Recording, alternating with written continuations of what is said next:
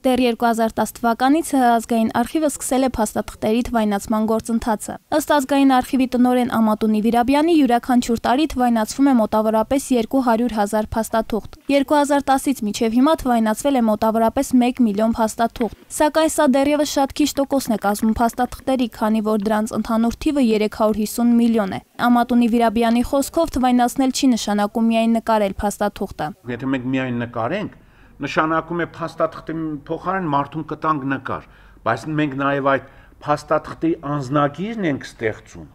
էլեկտրոնային որոնողական համակարգով, որpիսի մարդը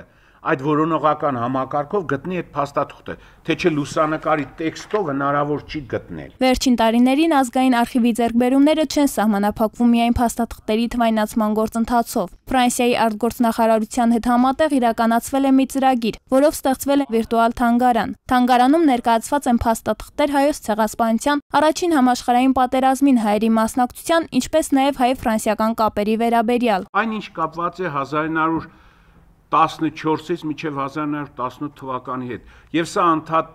անընդհատ ընդլայնվելու է մինչև 1918 թվականը։ Մենք ամեն տարի նոր ձևով ներկայացնելու ենք։ Արխիվն անդրադարձել է նաև հայոց եկեղեցու կալվածքների գույքի խնդրին Օսմանյան Թուրքիայում, մասնավորապես Արևմտյան Հայաստանում։ Դեռևս անցյալ տարի Մեծի տան Անկիլիկյո կաթողիկոսը հայց էր ներկայացրել Թուրքիայի սահմանադրական դատարանին եկեղեցական տարածքները Սիսի կաթողիկոսարանին վերադարձնելու պահանջով։ Մենք պատրաստում ենք եւ աշնանը կհրատարակենք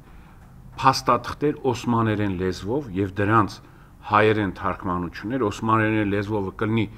լուսանկարի ձևով, ֆաքսիմիլեի ձևով, այսինքն այնպես ինչպես բնակիչն է եւ դրա հայերեն թարգմանությունը հավանաբար նաև անգլերեն։ Այս տարի հայոց եկեղեցում լինելու է Մյուրոն օրհնության տոնը, որին նվիրված ազգային արխիվը պատրաստում է միջև սեպտեմբեր հրատարակել մոտ 600 էջ ծավալով գիրք, որտեղ զետեղված կլինի արխիվում պահպանված այն բոլոր փաստաթղթերը, որոնք վերաբերում են այս տոնին, ինչպես նաև տոնի խորհրդի եւ առանձնահատկությունների մասին մանրամասնություններ։ Վարդուհի Գուլլով Արտյոմ Պողոսյան այսօր